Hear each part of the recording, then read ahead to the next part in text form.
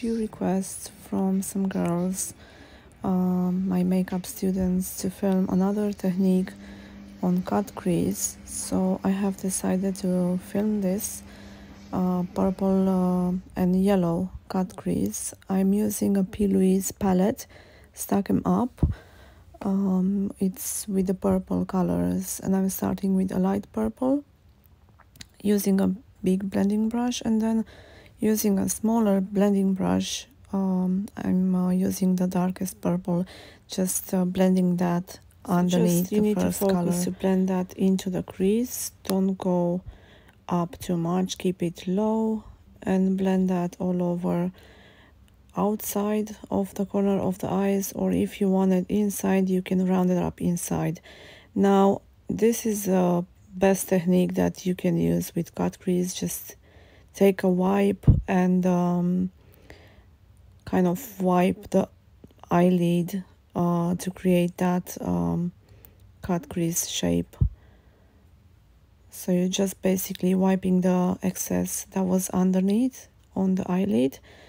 And next uh, I have used a concealer. This is not from P. Louise. I think it's a Makeup Revolution concealer and a flat blending brush. So you're just gonna basically cut the crease and create that nice uh, shape outside of the corner of the eyes. As you can see it's not difficult. It's the easiest way to create cut crease but you just need to be patient and practice uh, I tell this to a lot of girls. If you don't practice um, you're not gonna achieve good results and you're not gonna improve. So with makeup it's always like this. Practice makes it perfect. So just practice every single day and you will get there. And next I use um, yellow from a Morphe palette. I think it's either 35W or 35U and a flat brush for the eyelid. So I'm just gonna place that yellow on the eyelid where I created my cut crease. As you can see it's a really nice bright yellow. And then I'm gonna apply some eyeliner black liner from Inglot and I'm just gonna um, apply it create like an angled kind of eyeliner Arabic cut crease. So as you can see just follow these steps. It's not difficult. And you will get there. This is more like a fashion look um, cut crease. And next I'm taking a black eyeshadow with an angled brush. This is an angled eyeliner brush by Kiko. And I'm blending that black liner just a little bit so it won't look that sharp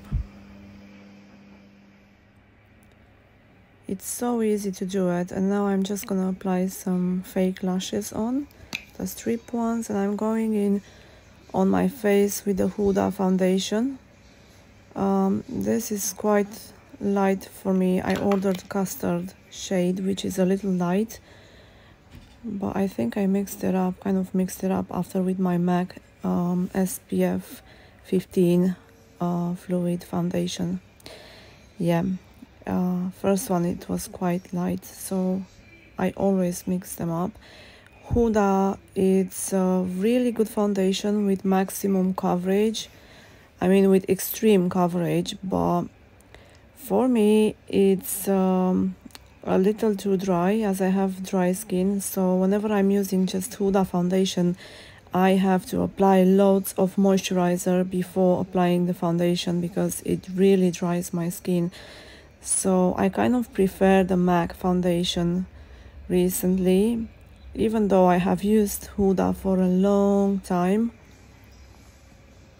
However mixing these two will give you a really full coverage uh, mixture for kind of combination to dry skin. Next I'm using the CoverGirl concealer and I'm just placing that underneath where I have my dark circles and on underneath the outer corner of the eyes just to create a lifting effect as you can see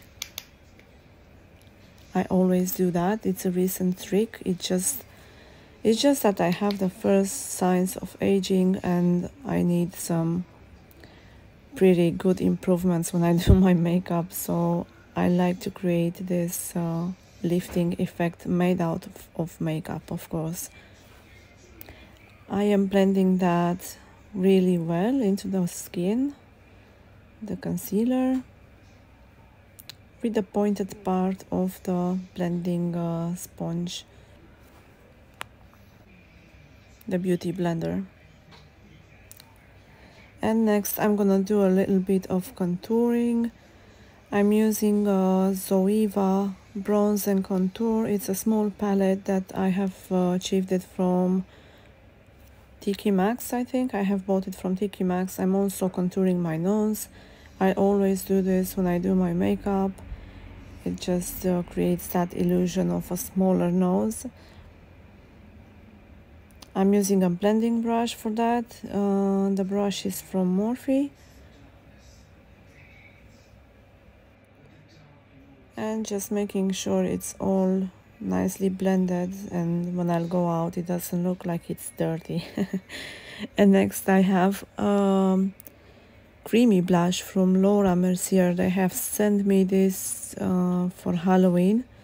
I have some good stuff. Um, from Shiseido, Laura Mercier and NARS. I don't really use uh, creamy blush products, but this one I really love it. Um, I usually blend that with the beauty blender uh, or even you can use just your fingers, that's fine. And I also have the setting powder from Laura Mercier. I'm just gonna apply that on the highlighted areas under my eyes, uh, forehead, and I'm gonna apply some eyeshadow on the bottom line of my eyes, just a little blue and purple shadow from the same P. Louise and another one Stack 'em Up. I love these palettes, although I have to mention they are a bit powdery and um, whenever I work with them I always start with eyes because they kind of go everywhere so if you're a beginner you will need some patience whenever you use them. But the colors are very pigmented. And I also kind of want to apply some white liner on the waterline and this is from NARS. This will make your eyes look a bit bigger and brighter. So whenever you use white on the waterline, you create uh, brighter eyes. Whenever you're gonna use black on the waterline, you're gonna create smaller eyes and kind of a smoky look. I'm using a NYX Cosmetics uh, lip liner. This is a brown shade or a nude shade as I'm just wanna applying some uh, nude lipstick I don't wanna go too dark for my lips as the eyes are pretty bright and very bold I always overline my lips so for whoever doesn't like that I don't really care I love it and I do it all the time um, I had a really bad experience last time when I when I added some uh, hyaluronic in my lips and uh, I had some lumps over there. I need them dissolved and since then I don't really like uh, doing injections in my lips anymore.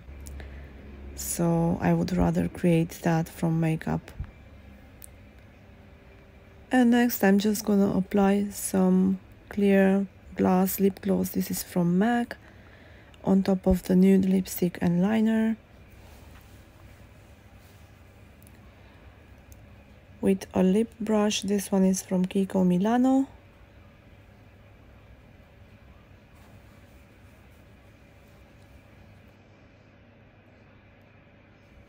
whenever I'm using the brush for lips they look very defined and very nice. I love it. I hope you like the look. This is how it came out. I'm also gonna apply a little mascara and this one is from Pixi on the bottom and top lashes. Just to finish up the look and on the top lashes as well. Sometimes I put my fake lashes first and then I use mascara just to blend them together. Final touch applying some highlighter as usual and this is the final look. I hope you like it. And don't forget to give me a like and subscribe to my channel for beauty and more. I have also applied some sequins as you can see at outer corner and inner corner of the eyes. And that's the final look. You can find this on my instagram page as well Anycka